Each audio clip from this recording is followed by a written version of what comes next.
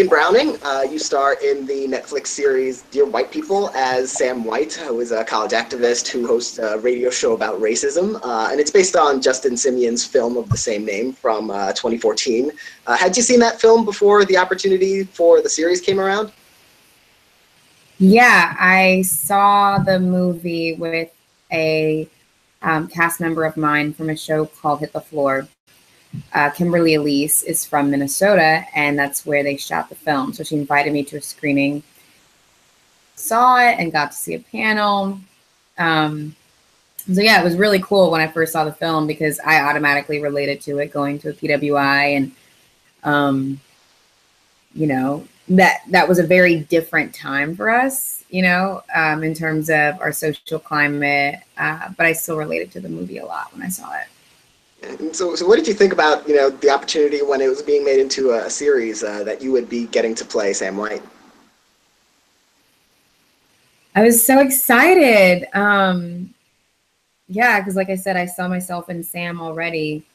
Um, and when it first came into my inbox, I was so confused because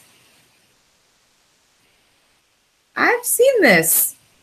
Did my agents just send me an old audition or something? Um, and once I realized it was for Netflix, I was really excited, and I was excited that they were doing a television version. And then I went on to look at the the sides. They call them sides when it's just a couple of scenes for an audition.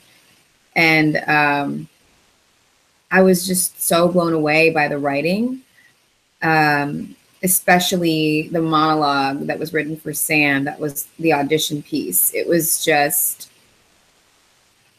so powerful. And I've never wanted to do an audition as much justice as that one. I, I felt like I wasn't just auditioning for a part in a show. I was I was I was sharing this information via um, this character. It was it was a really cool experience for me.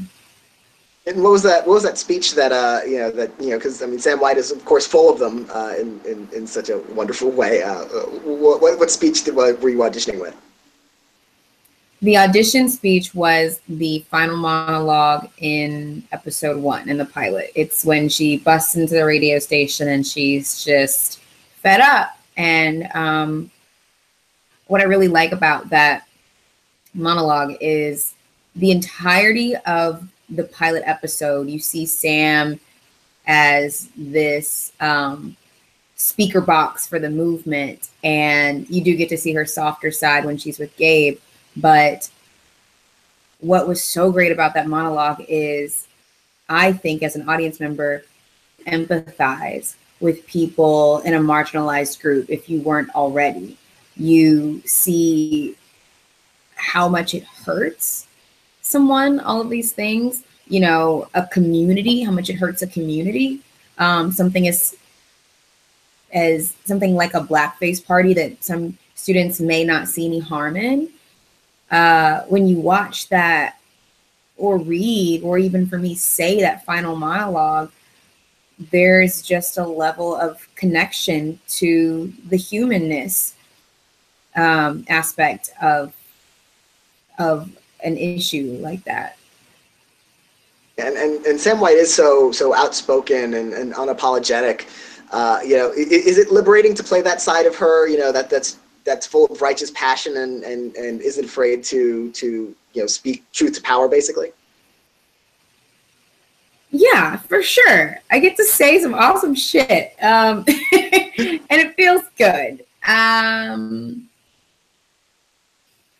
I will say it can be frustrating because Sam is young and um, I have experienced the radical passion that she has, and I've experienced some of the negative ramifications of it. Um, granted, I'm still young, I'm still figuring this life thing out, but even a younger version of me would be so quick to want to fight anytime something relating an injustice happened with anyone, I would always be the person to uh, like I would call myself a pit bull puppy. I'm just always like yapping and I'm gonna gonna let you know how I feel. So on the flip side of it being liberating, it could be frustrating for me sometimes because I would have these speeches as Sam and I would think, oh girl, like, you know, you're not really listening to the other side. You're just you're just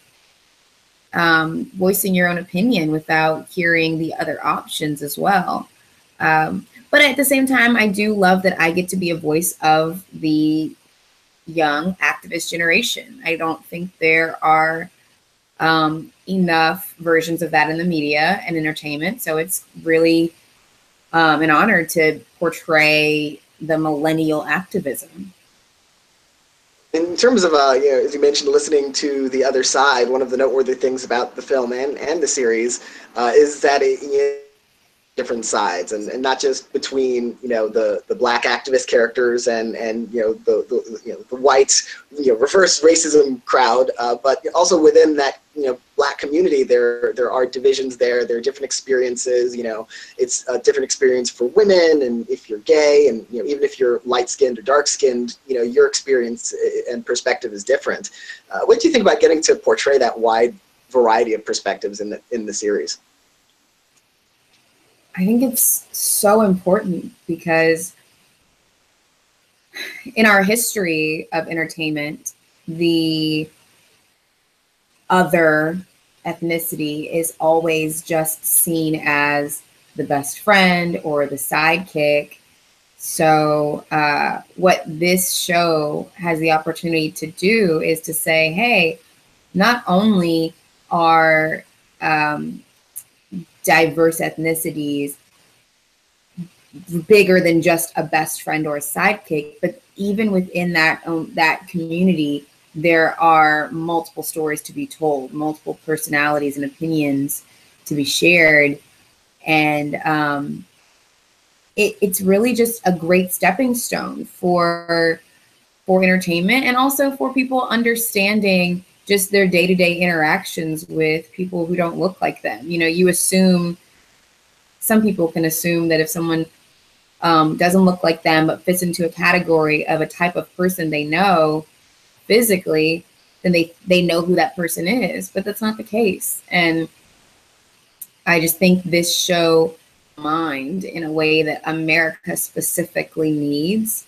Uh, we we are such a like color class and such a color and ethnic based society. You see someone who looks like a looks in a particular way and you stereotype them in this country. It's other countries too um, it is actually but the show is just important because it, it just it kind of it screws with that in a good way.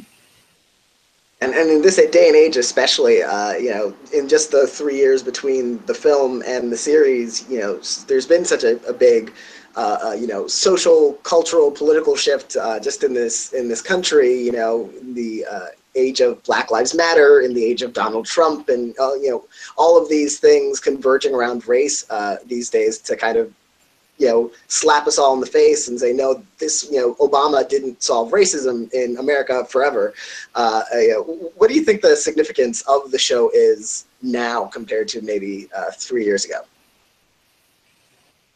Wow. Um, well, for one, just to your point, uh, art and time are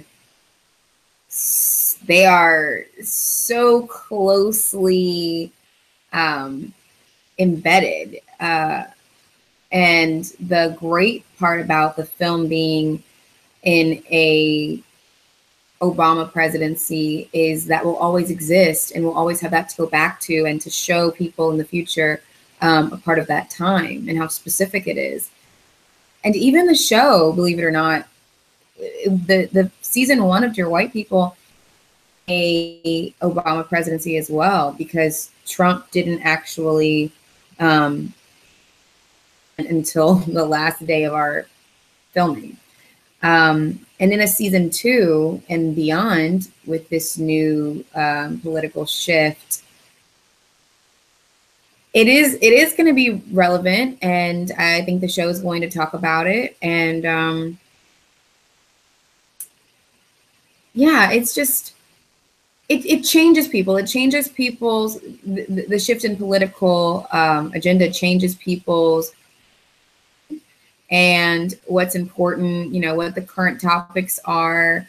Um, during the Obama presidency and towards the end, there was a lot of rise in police brutality cases and um, just hearing more about young African American men um, being murdered um, by cops. And so that's reflected in the show a lot.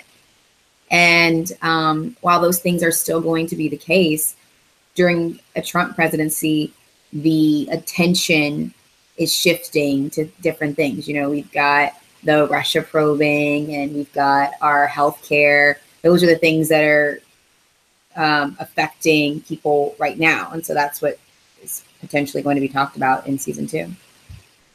Uh, as you mentioned, uh, the show does deal with uh, uh you know kind of police brutality, police confrontation. Uh, in in in one episode, uh, where there's a confrontation with campus police that comes very close to ending very badly. Um, you know. Th- in, in a show that's largely a, a, you know a comedy in, in, in many regards, that was an especially tense scene. what was it like shooting that? Oh my gosh. that day was rough. The day was rough because um, all of us in that um, party scene, whether we had experienced um,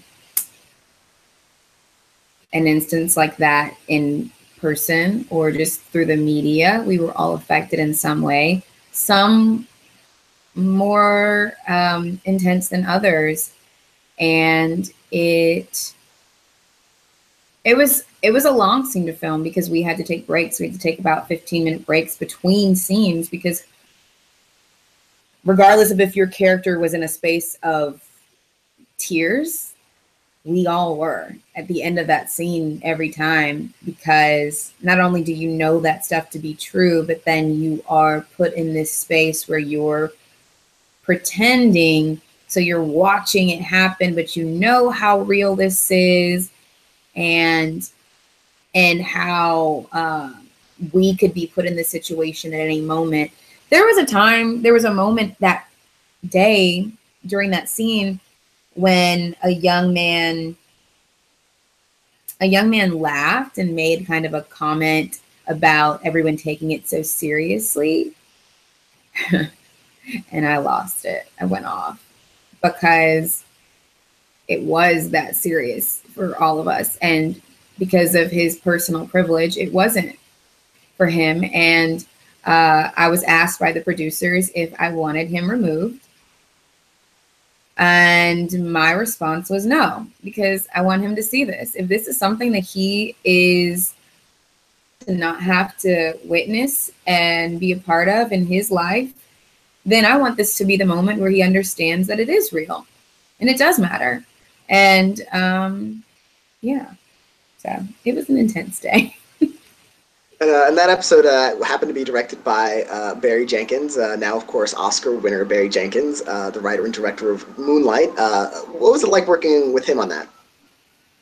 Barry is amazing. He knows how to work with actors which is very important. I, I, guess people assume that directors know how to work with actors, but they don't always. Like some of them are really good technically.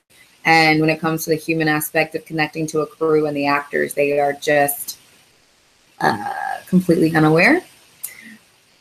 But Barry knows how to get those important shots and to really conduct himself as a captain. Um, and he likes ice cream. We had ice cream that day and he could not take a break to go outside. So I remember him saying, I was walking around with my ice cream and he's like, Can I? I'm like, I got you, Barry. so, um, yeah, he really worked closely with um, Justin and Marquis to um, bring a very authentic essence as naturally black men can relate and bring an authentic essence to that story. Um, and Chuck, who was one of the writers of that episode, uh, yeah, he he was cool to work with. Uh, before the series uh, even premiered, uh, you know, when the trailer came out, there was uh, some controversy from the usual dark corners of the internet about, you know, the show promoting white genocide, of course. Uh, did you find yourself uh, on the receiving end of, of any of that blowback, or did you were you reading a lot of that, or seeing a lot of that? Um, I occasionally would go look to just know what they were like I would look because it was our trailer, right? I want to see what people are commenting on our trailer. And they weren't even commenting on the show. These crazies were like deep ledge based on 30 seconds and a title, which is insane. I mean, if I went off of a ledge over that like capacity in my life, oh my gosh, I'd probably be dead or in jail. But um yeah, it it was humorous for all of us. Like we really didn't read into it much. Um, and when we did, we just giggled. But uh, I do I do hope that the people who were put off by the title for whatever reason, um, I do hope that they give the show a chance because uh, what they would find is their voices are actually represented in the show. The show is not trying to tell them they're wrong. The show is um, sharing all points of view. And it's just, it's funny that they're actually a part of the series and yet they are still trying to um, like bash it. It's ridiculous. Uh, the series uh, uh, has a, an interesting structure in the way it's uh, the way it, it, you know storytelling is is told. Uh, it focuses on a different character's point of view in each episode. Uh, so sometimes Sam is the central focus, and other times she's you know a supporting player in someone else's main story. you know, what did you think about that approach to the show? Getting to go you know in really in depth you know for for each of these half hour segments. I think it is refreshing because um, when you watch a show, you follow one protagonist and you love them, but you always wonder what everyone else is doing behind closed doors when they go home and how they really feel about a certain um, topic. And having a multi protagonist uh, way of storytelling just allows you to understand a character who originally you may think is a villain or originally you may not feel any connection to. And that just, again, relates to your own life. Someone who you may judge at first glance, it allows you to say, you know, there may be something deeper. And Justin really wanted to explore a lot of the characters he did in the film, or the characters who you get to see more of in the show. He wanted to show them in the film, but just didn't have time. And that's the fun part about a series is he gets to to explore their individual narratives. Um, and then I like how all of the stories kind of cross and merge. You know, they're not individual little movies, even though they kind of feel like they are. They all somehow relate to each other. And the relationships and the commingling, it's, I think it's really brilliant. Uh, you know, after, you know, 10 episodes, you know, you've got a chance to tell a lot of uh, Sam's story, uh, but, you know, is there any aspect of, of Sam you would be especially eager to explore in, in a second season? Oh, I don't even think we've scratched the surface of Sam. I think, if anything, we've only seen the surface of Sam.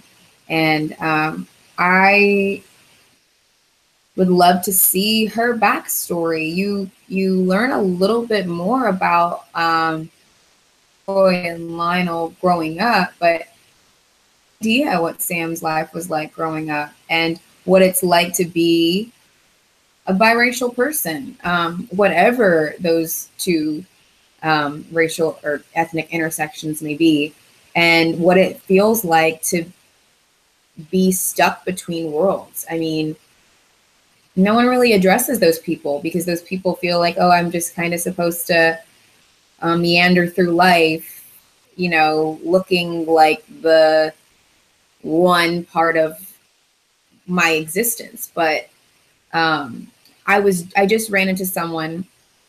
He was Mexican American, And I had no idea. He looked, he just looked white to me. And I was talking about Sam, and he said, I completely relate because I'm Mexican. And I was like, oh, I didn't know. And um, he was saying how he relates more to his Mexican side because he was raised and so that was a part of his family he spent more time with. He said when he's with the white side of his family, he actually doesn't relate as much. And that's so interesting to me because people see him as that. So I just think the the the making up of a person of mixed heritage is a very interesting and important story to tell and why Sam feels it's so important for her to be a part of the revolution, I think is also something you learn in her backstory. Well, I want to uh, congratulate you again on on Dear White People. Uh, certainly looking forward to more of that. Uh, and thank you so much for for talking to me today. Thank you, Daniel. I really appreciate it.